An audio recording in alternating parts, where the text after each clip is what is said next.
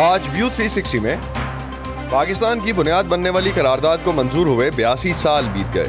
ہزاروں پاکستانی آج بھی شناختی کارڈ کے بغیر۔ تمہیں کافی کارڈ اپنا شناختی کارڈ تو جان میرے تو۔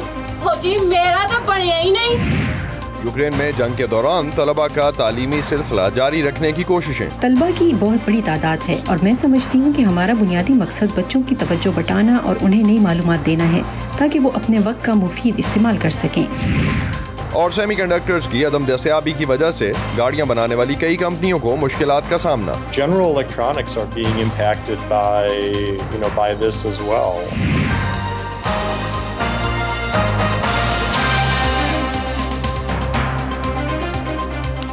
Voice of America کے واشنگٹن اسٹوڈیوز میں آپ سب کو خوش آمدید۔ آپ دیکھ رہے ہیں پروگرام یو 360 اور میں ہوں اسد اللہ خالد۔ تیئیس مارچ انیس سو چالیس۔ لاہور میں آل انڈیا مسلم لیگ کا تین روزہ سالانہ اجلاس ختم ہونے پر وہ تاریخی قرارداد منظور کی گئی تھی، جس کی بنیاد پر بر صغیر میں مسلمانوں کے لیے ایک علیحدہ مملکت کے حصول کے لیے تحریک کا آغاز ہوا۔ اس کے سات سال بعد یعنی انیس سو سینتالیس میں پاکستان وجود میں آیا۔ آج پاکستان کے قیام کے تقریباً پچھتر سال بعد اس کی تاریخ کے کچھ اہم واقعات پر نظر ڈالیں تو ان سات دہائیوں میں اس ملک نے بہت سے اتار چڑھاؤ دیکھے۔ انیس سو چھپن میں ملک کا پہلا آئین بنا، جسے سات اکتوبر انیس سو اٹھاون کو صدر سکندر مرزا نے معطل کر دیا اور ملک بھر میں مارشل لاء نافذ کر دیا۔ انیس سو باسٹھ میں فوج کے زیر اقتدار پاکستان کا دوسرا آئین نافذ کیا گیا اور اس کے تین سال بعد انیس سو پینسٹھ میں پاکستان اور بھارت کے درمیان سترہ دن تک ایک جنگ لڑی گئی، جس کے صرف چھ سال بعد انیس سو اکہتر میں دونوں ملکوں کے درمیان ایک اور جنگ ہوئی، جس میں پاکستان کو اپنا مشرقی حصہ گوانا پڑا۔ اور نتیجے میں بنگلہ دیش وجود میں آیا۔ انیس سو تہتر میں باقی ماندہ ریاست کے لیے ایک نیا آئین منظور ہوا۔ انیس سو اناسی میں پاکستان کے سائنسدان ڈاکٹر عبدالسلام نے انتہائی موقر نوبیل انعام حاصل کیا۔ ایک طویل عرصے بعد دو ہزار چودہ میں پاکستان کی ملالہ یوسف زئی نے ملک کی تاریخ کا دوسرا نوبیل انعام اپنے نام کیا۔ انیس سو اٹھاسی میں مسلم ممالک میں پہلی بار ایک خاتون بے نظیر بھٹو نے پاکستان کی وزیر اعظم کا عہدہ سنبھالا۔ انیس سو اٹھانوے میں پاکستان نے دنیا کی ساتویں اور مسلم دنیا کی پہلی جوہری طاقت ہونے کا اعلان کیا۔ پاکستان کی سیاسی تاریخ پر نظر ڈالیں تو ملک نے تین دہائیوں سے زیادہ عرصہ براہ راست چار فوجی عاملوں کی حکمرانی میں گزارا، جبکہ بائیس وزرائے اعظم میں سے آج تک کوئی بھی چار سال سے زیادہ حکومت نہیں کر سکا۔ وائس آف امریکہ نے چند نوجوانوں سے جاننے کی کوشش کی کہ وہ پاکستان کی پچھتر سالہ تاریخ پر کتنے مطمئن ہیں۔ پاکستان کا مستقبل بہت غیر واضح ہے کیونکہ کوئی بھی چیز جو ہے وہ کلیئر نہیں ہے۔ اس وقت جو حالات ہیں اس میں غریب کے پاس یہ موضوع نہیں ہے کہ تحریک عدم اعتماد کامیاب ہوگی یا نہیں۔ اس کے پاس ایک موضوع ہے کہ چیزیں بڑھ رہی ہیں قیمتوں کی صورت میں۔ تفضات کے لحاظ سے کرپشن اور باقی جتنی بھی چیزیں ہیں جو مستقبل اور جو ہائرنگ میں ایشوز کریٹ کرتی ہیں ان کو ایڈریس کرنے کی ضرورت ہے۔ پرائم منسٹر عمران خان کے اگر ایرا میں دیکھا جائے تو میں نے ابھی تک کوئی ایسے ریفارمز نہیں دیکھے۔ مائٹ بھی اس نے کے پی کے میں کیے ہوں۔ اس حکومت نے اچھے کام کیے ہیں مگر غیر روایتی کام ہے مثال کے طور پہ پناہ گاہ والا کام ہو گیا پھر صحت کارڈ والا کام ہو گیا۔ اس کے علاوہ جو کلائمیٹ پہ یہ حکومت فوکس کر رہی ہے کلائمیٹ ہمارے ملک کا اور پوری دنیا کا ایک مسئلہ ہے۔ تو اس کو یہ حکومت صحیح طرح ایڈریس کر رہی ہے۔ یہ حکومت انفلیشن کے لحاظ سے مہنگائی کہہ لیں یا پھر جو ڈفرینٹ سوسائٹی کے ایشوز کہہ لیں کرائمز کہہ لیں، اس لحاظ سے میں دیکھوں تو مجھے لگتا ہے کہ رائز آیا ہے اس میں۔ اور، لیکن اگر گرین پاسپورٹ کی بات کی جائے کہ پاکستان کا ابراڈ میں انٹرنیشنلی پاکستان کو جو ایک امیج بلڈ اپ ہوا ہے just because of Imran Khan اور پی ٹی آئی کی گورنمنٹ کی وجہ سے وہ ڈیفینیٹلی وہ بات ماننے والی ہے کہ پاکستان کا امیج اچھا گیا ہے۔ جب ان کی حکومت نہیں تھی یہ اپوزیشن میں تھے انہوں نے کہا تھا کہ خاص طور پہ اپنی پروجیکشن حکومت میں رہتے ہوئے نہیں کرنی چاہیے۔ اب ہم صحت کارڈ دیکھیں کوئی اور منصوبہ دیکھیں اپنی تصاویر تمام حکمران لگا کر براجمان اپنے منصب پر۔ ہم جیسے لوگ اپنی ڈگری کمپلیٹ کرنے کے بعد یہ سوچ رہے ہوتے ہیں بیٹھ کے کہ اب کیا کریں کہ جس سے ہم لوگوں کو جابس پرووائڈ ہو جائیں ہم لوگ کیا کریں؟ ہر اگر جاب لینے جاتے ہیں تو اس کے لیے بھی ہم سے پہلا سوال کیا جاتا ہے آپ کا ایکسپیرینس کدھر ہے آپ کا ایکسپیرینس اگر ایکسپیرینس لینے جائیں گے تو پڑھیں گے کب بھائی؟ ہماری یوتھ ہی سب سے زیادہ مطلب ان کا کوئی فیوچر نہیں نظر آتا تو میں کہوں گی کہ پرائم منسٹر نے کچھ بھی نہیں کیا۔ ہونا یہ چاہیے ایک تو ان کو ان امپلائمنٹ جابس اپرچونیٹیز پرووائڈ کرنی چاہیے۔ اسٹوڈنٹس کو ملیں جو باہر نکل کے اگر پڑھ کے نکلیں گے کام کریں گے تو ملک ترقی کرے گا۔ پاکستان کے قیام کو دو ہزار بائیس میں پچھتر سال پورے ہونے کو ہیں۔ وائس آف امریکہ نے دو امریکی اسکالرز سے بات کی جو اس بات پر متفق ہیں کہ جغرافیائی لحاظ سے اور تجارتی اور ثقافتی سطح پر بھی۔ پاکستان عالمی اہمیت کا حامل ہے، لیکن سیاسی عدم استحکام کی وجہ سے پاکستان معیشت، انفراسٹرکچر اور دیگر شعبوں میں اپنی اصل صلاحیت سے بھرپور فائدہ نہیں اٹھا سکا۔ تیئیس مارچ یعنی آج، یوم پاکستان کے موقع پر وائس آف امریکہ کی ارم عباسی نے مائیکل کوگلمین اور رابن رافل سے بات کی۔ سابق امریکی سفارتکار رابن رافل سے جب یہ پوچھا گیا کہ عالمی سطح پر پاکستان کی اہمیت کو کیسے دیکھا جاتا ہے، تو ان کا کہنا تھا۔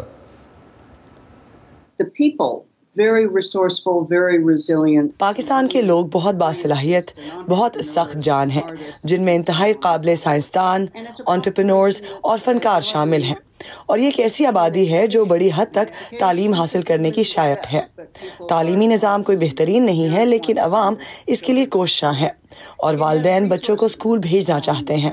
اس ملک کے پاس وسائل ہیں، زراعت ہے، توانائی ہے، خاص طور پر صاف توانائی ہیڈرو اور اسی طرح معدنیات وغیرہ۔ اور یہ یورپ اور ایشیا کے درمیان واقع ہونے کے باعث ایک پل اور تجارتی مرکز ہو سکتا ہے، جس کی اسے خواہش ہے۔ تو میں سمجھتی ہوں کہ پاکستان اپنے قیام سے لے کر اب تک اہم ہے اور اہم رہے گا۔ سابق امریکی سفارتکار رابن رافیل سے ارم عباسی نے یہ بھی جاننے کی کوشش کی کہ امریکی حلقوں کی نظر میں پاکستان کی بڑی کمزوریاں کیا ہیں۔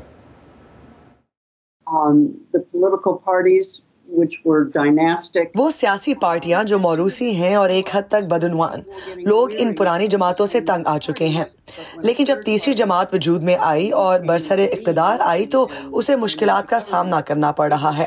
کیونکہ اسے کچھ پرانی سیاسی شخصیات کو اپنے ساتھ ملانا پڑا اور وہ ان اصلاحات کو لانے میں کامیاب نہیں ہو سکی جس کا وہ ارادہ رکھتی تھی۔ تو مسئلہ سیاسی نظام کے ڈھانچے کا ہے اور اسی طرح معیشت آپ اس وقت تک وہ آزاد خارجہ پالیسی نہیں اپنا سکتے، جس کی وزیر اعظم کو خواہش ہے جب تک کہ آپ اپنے بل خود ادا نہ کر سکیں۔ اور پاکستان کو حکومت چلانے کے لیے معقول ٹیکس ریونیو جمع کرنے میں طویل جد و جہد کا سامنا ہے۔ امریکی تھنک ٹینک ولسن سینٹر کے جنوبی ایشیائی امور کے ماہر مائیکل کوگلمن سے ارم نے پاکستان کے پوٹینشل کے بارے میں بات کی۔ میں سمجھتا ہوں کہ پاکستان کو کئی عوامل کا فائدہ حاصل ہے۔ ایک اس کا محل وقوع اور جغرافیہ ہے۔ یہ بنیادی طور پر جنوبی ایشیا اور وسطی ایشیا اور مشرق وسطی کے اہم ممالک سے رابطے میں رہنے کی پوزیشن میں ہے۔ یہ ایک طرح سے اہم خطوں کے لیے ایک دروازے کا کام کرتا ہے۔ پھر اس کی آبادی ہمیشہ اس لحاظ سے اس کے لیے ایک طاقت رہی ہے کہ اس کے پاس بہت بڑی، بڑھتی ہوئی نوجوان آبادی ہے، جو معیشت کو مضبوط بنانے کے حوالے سے ہر قسم کے مواقع فراہم کرتی ہے۔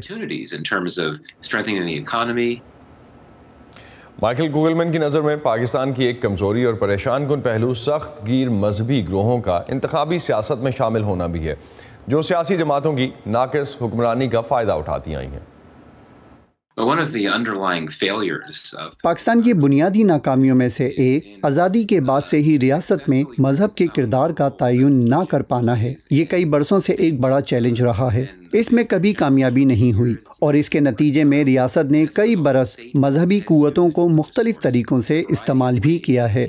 اور اکثر خاص تباکن طریقے سے بھی، خاص طور پر عسکریت پسندوں کو مدد فراہم کرنے کے حوالے سے اور یقیناً ٹی ایل پی کا عروج۔ یہ حقیقت کہ ایک سخت گیر نظریات رکھنے والی، یہ نسبتاً نئی سیاسی جماعت اب مرکزی سیاسی ادارے میں شامل ہو کر الیکشن لڑنے کے قابل ہو چکی ہے۔ میرے خیال میں بہت تشویشناک ہے۔ ہم نے دیکھا ہے کہ ٹی ایل پی سے ہٹ کر دہشت گرد اور عسکریت پسند گروپ تک سویلین حکومتوں کی نااہلی کا فائدہ اٹھانے میں کامیاب رہے ہیں۔ پاکستان میں ہزاروں شہریوں کے پاس قومی شناختی کارڈ نہیں ہے جس کی وجہ سے وہ بنیادی سہولتوں سے محروم ہو جاتے ہیں۔ پاکستان کے انسانی حقوق کمیشن کے ایک منصوبے سے پسماندہ علاقوں میں اسٹریٹ تھیٹر کے ذریعے شناختی کارڈ کی اہمیت کو اجاگر کیا جا رہا ہے۔ سمن خان کی رپورٹ۔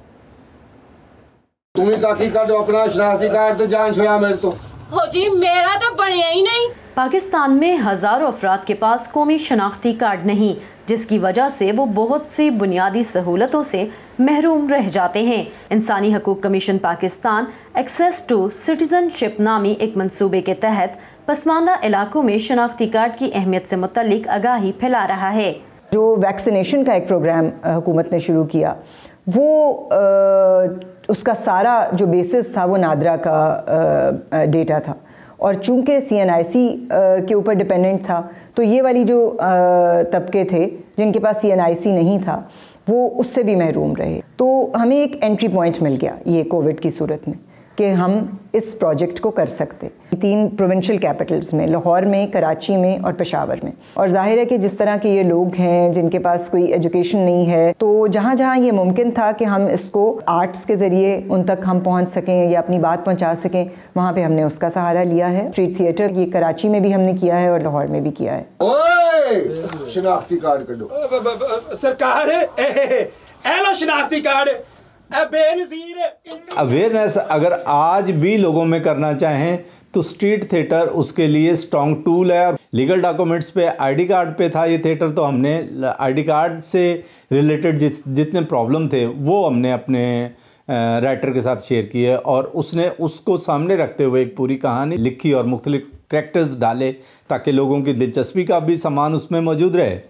اور جو بات ہم کہنا چاہتے ہیں وہ بات بھی ہو۔ شناختی کارڈ نہ ہوئے تے پاکستانیاں دی شہری جی گنتی جی نہیں آندے تسی۔ کمیونٹی میں ہم اس جگہ پہ تھیٹر کرتے ہیں جہاں پہ لوگ پڑھے لکھے نہیں ہوتے فیسیلیٹی ان کے پاس نہیں ہوتی زندگی سے کافی مطلب دور ہوتے ہیں زندہ تو ہوتے ہیں وہ بھی خیر لیکن بہت ساری چیزیں ایسی ہوتی ہیں جن کا ان کو نہیں پتہ ہوتا جو فیسیلیٹی ان کو نہیں مل رہی ہوتی ہے۔ لیکن ان کے بیچ میں جا کے کام کرنا زیادہ مجھے پسند ہے کیونکہ لگتا ہے جیسے کچھ اچھا کر دیا۔ یہ جو اس طرح کا اسٹریٹ تھیٹر ہے، اس میں چیلنجز یہ ہے کہ ایک تو آپ انہیں سمجھا نہیں سکتے۔ ان کو کسی ڈسپلن میں لے کے آنے کے لیے آپ کو صرف ایک آپ کے پاس ٹول ہے۔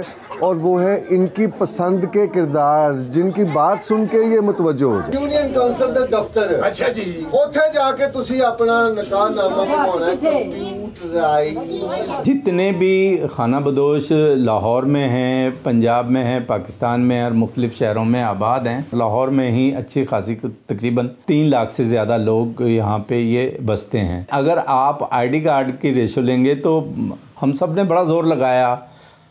ہم جو ہے نا نادرا کے جو وینز جو ہیں، ان کو ہم لے کے کمیونٹیز میں گئے، لیکن ان کے ڈاکومنٹس کا بہت بڑا ایشو ہوتا ہے۔ تو ابھی بھی more than seventy eighty percent لوگ جو ہے نا وہ کارڈ کے بغیر ہیں، جس میں خواتین کی تعداد بہت زیادہ ہے۔ اس کی جنم پرچی نہیں بنی تو اس کا بے فارم نہیں بنا۔ اس کا بے فارم نہیں بنا تو اس کا سی این آئی سی نہیں بنا۔ ٹھیک ہے؟ اور سی این آئی سی نہیں بنا، پھر اس کی شادی ہوئی، پھر اس کا بچہ ہوا یو نو تو ایک وشس سائیکل ہے۔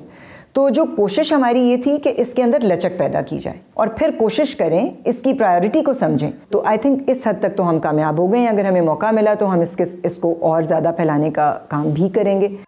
انسانی حقوق کمیشن نے اس کام کے لیے ایک غیر سرکاری تنظیم گود کی مدد لی ہے، جو گزشتہ تیس برسوں سے خانہ بدوشوں کی فلاح و بہبود کے لیے کام کر رہی ہے۔ Saman Khan Voice of America Lahore. اسلامی ممالک کی تنظیم یا او آئی سی کے وزرائے خارجہ کا دو روزہ اجلاس آج اسلام آباد میں ختم ہو رہا ہے۔ اتحاد، انصاف اور ترقی کے لیے شراکت داری کے عنوان سے ہونے والی اس کانفرنس میں کن امور پر بات ہوئی۔ جانتے ہیں وائس آف امریکہ کے علی فرقان سے جو ہمیں اس وقت اسلام آباد سے جوائن کر رہے ہیں۔ علی، اس اجلاس میں افغان ایجنڈے کے حوالے سے کیا ڈیولپمنٹ ہوئی؟ کیونکہ ایک قیاس یہ تھا کہ اس کانفرنس میں سب سے زیادہ اہم ایشو یہی ہے۔ جی یقینی طور پہ کانفرنس کا عنوان جو ہے وہ عالمی اور مسلم دنیا کو درپیش چیلنجز سے کے اوپر گفتگو کرنا تھا اور افغانستان میں جو ابھرتا ہوا انسانی المیہ ہیں، یہ سر فہرست تھا اس اجلاس کے ایجنڈے میں۔ اس اجلاس کے لیے اگرچہ جو ہے وہاں کے جو وزیر خارجہ ہیں امیر متقی، ان کو دعوت دی گئی تھی، لیکن وہ اس میں شریک نہیں ہوئے ہیں۔ ان کی نمائندگی ایک وفد نے کی، طالبان کی جانب سے۔ اور ان کو اس اجلاس سے پہلے پاکستان نے جو آپ کو یاد ہوگا، گزشتہ سال دسمبر میں ایک غیر معمولی اجلاس بلایا تھا افغانستان کے حوالے سے، ایک فنڈ قائم کیا گیا تھا۔ اس کا بھی باقاعدہ طور پہ فال کر دیا گیا ہے اور یہ امکان کیا جا سکتا ہے کہ جب یہ اجلاس ختم ہوگا تو جو رکن ممالک ہیں، جو انہوں نے جو رقوم افغانستان کے فنڈ کے حوالے سے اعلان کر رکھے تھے، وہ اس فنڈ میں منتقل جو ہے، وہ کی جا سکیں گی۔ امیر متقی اگرچہ اس میں شریک نہیں ہوئے ہیں، اور یہ کہا جا رہا ہے کہ ان کو دعوت دی گئی تھی پاکستان کے وزیر خارجہ کی جانب سے۔ اور یہ کہا جا رہا ہے کہ چونکہ گزشتہ اجلاس میں چونکہ ان کو نمائندگی نہیں دی گئی تھی، کیونکہ افغانستان کو آئی سی نے ابھی تک تسلیم نہیں کیا رکن ملک کی حیثیت سے، تو شاید اس امکان اور اس تنقید سے بچنے کے لیے انہوں جو ہے وہ شرکت نہیں کی۔ اس کے علاوہ یوکرائن چونکہ ایک عالمی معاملہ ہے وہ اگرچہ ایجنڈے پہ نہیں تھا لیکن اس کے اوپر بھی بات ہوئی۔ وزیر اعظم عمران خان نے رکن ممالک کو اور جو غیر جانبدار ممالک ہیں ان سے اس مسئلے کے فوراً حل کی بات کی۔ اور چین کے وزیر خارجہ جو کہ خصوصی دعوت پہ آئے ہوئے ہیں انہوں نے بھی اس امید کا اظہار کیا کہ اس معاملے کا جو ہے وہ سیاسی حل نکل سکے گا۔ بہت بہت شکریہ علی فرغان آپ کا ہمیں اس حوالے سے اپڈیٹ کرنے کا۔ جنگ کے باوجود یوکرین کے کئی علاقوں میں تعلیمی سرگرمیاں مکمل طور پر یا کم از کم جزوی طور پر جاری ہیں۔ یہ سرگرمیاں ریموٹلی بھی جاری ہیں یعنی بچے یوکرین یا دنیا میں کہیں سے بھی اپنے کمپیوٹرز پر لاگ آن کر کے کلاسز جوائن کر سکتے ہیں۔ یوکرین کے بچوں کی تعلیمی سرگرمیوں کو جاری رکھنے کی یہ کوششیں ہیں کیا؟ آئیے جانتے ہیں اس رپورٹ میں۔ یہ منظر روس کی جانب سے شدید بمباری کے بعد یوکرین کے مائکلائف علاقے کے ایک سکول کا ہے۔ اس تباہی میں سات افراد ہلاک ہوئے اور تین زخمی۔ عمارت مرمت کے قابل نہیں رہی۔ روسی در اندازی کے بعد سے یوکرین میں درجنوں سکولز ایسی تباہی دیکھ چکے ہیں۔ یوکرین کے وزیر تعلیم نے ایک ویب سائٹ بنائی ہے جہاں ملک کے کسی بھی حصے میں ہونے والے نقصان کی معلومات موجود ہیں۔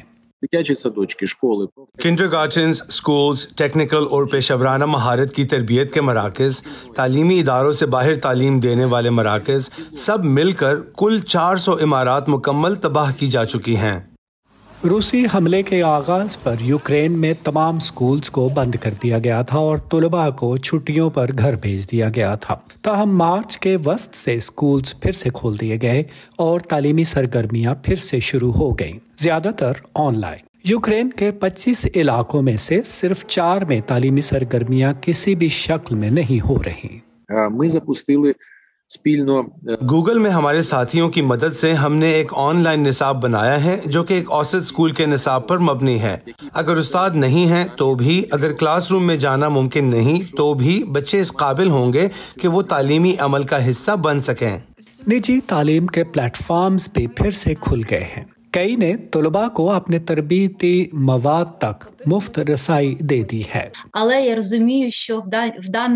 طلبہ کی بہت بڑی تعداد ہے اور میں سمجھتی ہوں کہ ہمارا بنیادی مقصد بچوں کی توجہ بٹانا اور انہیں نئی معلومات دینا ہے تاکہ وہ اپنے وقت کا مفید استعمال کر سکیں۔ صورت حال ان طلباء کے لیے زیادہ پیچیدہ ہے جو اسکول سے فارغ التحصیل ہونے کے قریب ہیں۔ بڑا مسئلہ یوکرین میں یونیورسٹیز میں داخلوں کے لیے امتحان ہے۔ ملک کا محکمہ تعلیم اس سال کے لیے ان ٹیسٹس کو منسوخ کرنے کی تجویز دے رہا ہے۔ لیکن کئی عوامی رہنما اس کا متبادل تلاش کرنے کی تجویز دے رہے ہیں۔ ان کے مطابق یہ امتحان اہم ہیں۔ можна скоротити кількість необхідних сертифікатів. مثلا ہم یونیورسٹیز میں داخلے کے لیے ضروری سرٹیفکیٹس کی تعداد کم کر کے دو کر سکتے ہیں۔ یہ بھی کر سکتے ہیں کہ آخری سال میں پڑھائے جانے والے مواد کو امتحان میں شامل نہ کیا جائے۔ کچھ یوکرینی طلباء کو بیرون ملک تعلیم جاری رکھنے کا موقع مل رہا ہے۔ یورپی یونین کے کئی ممالک نے پہلے ہی ان طلباء کو اپنے سکولز میں داخلہ دینا شروع کر دیا ہے۔ اس کے علاوہ یونیسکو کی مدد سے دنیا کے پائے کے تعلیمی پلیٹ فارمز نے یوکرین میں طلباء کے لیے اپنے کورسز کھول دیے ہیں۔ تعلیمی مواد کا ترجمہ فراہم کرنا کیونکہ زبان سے شناسائی نہ ہونا در بدر ہو جانے والے ان بچوں کے لیے ایک رکاوٹ بن سکتی ہے۔ یوکرینی محکمہ تعلیم گوگل اسپیس نامی ایک پلیٹ فارم فراہم کر رہا ہے جہاں تمام پارٹنرز اپنی تجاویز دیں گے۔ یونیسکو کا کام ان اقدامات اور درخواستوں کو میچ کرنے پر کام کرنا ہے۔ یوکرین کے محکمہ خارجہ نے وعدہ کیا ہے کہ کسی بھی طالب علم کو اگلی کلاس میں جانے سے نہیں روکا جائے گا۔ خاص طور سے ان ٹین ایجرز کو جنہوں نے اس سال گریجویٹ ہونا تھا۔ لازیا بیکلٹس کے ساتھ Nadeem Yaqoob Voice of America تازہ ترین خبریں اہم واقعات آڈیو ویڈیو رپورٹس اور تجزیے۔ دیکھیں سنیں اور پڑھیں۔ وی او اے اردو کی اسمارٹ فون ایپ پر۔ خبریں اب ہر وقت آپ کی مٹھی۔ کچھ ہفتے پہلے ہی صدر بائیڈن نے اپنے اسٹیٹ آف دا یونین خطاب میں کہا کہ امریکہ کو اپنی ضرورت کی اشیاء زیادہ سے زیادہ امریکہ میں بنانا چاہیے۔ کووڈ کی عالمی وبا کی وجہ سے بین الاقوامی سطح پر سپلائی چین بری طرح سے متاثر ہوئی ہے۔ اس وقت جہاں لاکھوں امریکی نئی گاڑیوں کی تلاش میں ہیں، نئی گاڑی خریدنا ایک مہنگا اور چیلنجنگ عمل بن چکا ہے۔ گاڑیوں میں استعمال ہونے والے سیمی کنڈکٹرز کی عالمی سطح پر کمی کی وجہ سے گاڑیاں بنانے والی کمپنیوں کو مشکلات کا سامنا ہے۔ اس کے علاوہ رسد کے مقابلے میں طلب میں بھی اضافہ ہوا ہے، جس نے بہت سی کمپنیوں کے کام کو متاثر کیا ہے۔ جب سے کووڈ کی وبا شروع ہوئی ہے امریکی شہر شکاگو کے باہر فورڈ اسمبلی پلانٹ میں کرس پینا جیسے کارکنوں کے لیے یہ معمول کا کاروبار نہیں رہا۔ پورے امریکہ اور پوری دنیا سے پرزہ جات حاصل کرنا واقعی ایک چیلنج رہا ہے۔ اور پچھلے دو سالوں میں پرزوں کی سپلائی میں کبھی رکاوٹ اور کبھی فراہمی کا سلسلہ جاری رہا ہے۔ شکاگو کے اس کارخانے میں ہم روزانہ ہزاروں کاریں تیار کر سکتے ہیں، لیکن آپ جانتے ہیں کہ صورتحال نے پیداوار کو واقعی سست کر دیا ہے اور اس ہفتے ہم عارضی طور پر چھٹی پر ہیں۔